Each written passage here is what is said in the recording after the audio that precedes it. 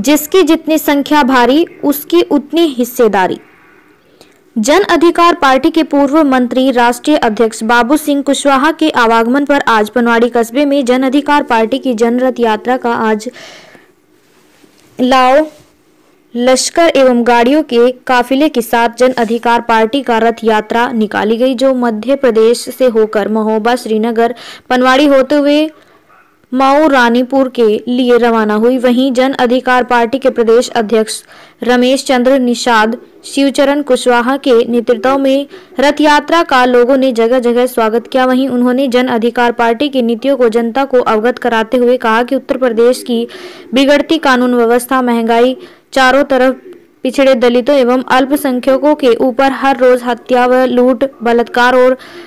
आगजनी की घटनाएँ हो रही हैं तथा उन्होंने कहा कि उत्तर प्रदेश में हमारी सरकार आने पर सभी क्षेत्रों में हर वर्ग को उनकी संख्या के अनुपात में भागीदारी देने का काम करेगी तथा इस रथ यात्रा में बुंदेलखंड प्रभारी शाहिद अली, मध्य प्रदेश बुंदेलखंड के कालीचरण मंडल अध्यक्ष गया प्रसाद, जिला प्रभारी वालादीन कुशवाहा, जन अधिकार पार्टी के जिला अध्यक्ष मोहम्मद अफसर, विधानसभा अध्यक्ष राघवेंद्र कुशवाहा, जिला महासचिव अमरीश कुशवाहा, चंदन सिंह कुशवाहा आदि दर्जनों सैकड़ों कार्यकर्ता गाड़ियों के काफिले में मौजूद रहे। और मैं जन पार्टी से प्रदेश अध्यक्ष, लखनऊ मूल निवासी जनपद झांसी से जन पार्टी का उद्देश्य है कि जो पहले की जो पार्टी थी दलित पिछड़े शोषित वंचित समुदाय के लोगों को इस संख्या के अनुपात में हिस्सेदारी नहीं मिली। इस वजह से माननीय बाबू सिंह कुशवाहा जी ने अपनी पार्टी बनाई, दलित पिछड़ों के लिए त्याग पार्टी हमारे मुखिया माननीय बाबू सिंह कुशवाहा है पिछड़ों के मुखिया माननीय बाबू सिंह कुशवाहा जी। और उन्होंने और हमने संकल्प उठाया है कि 2022 में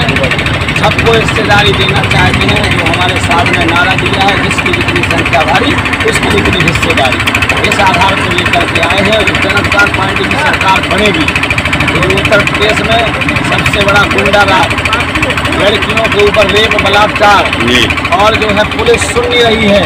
प्रशासनिक अधिकारी सुन नहीं रहे हैं। इस वजह से हम लोगों ने बीना उठाया और जो हमारी सरकार बनेगी उत्तर प्रदेश में तो हम लोग हर गरीब को तीन सौ यूनिट तक बिजली फ्री करेंगे तो ये सरकार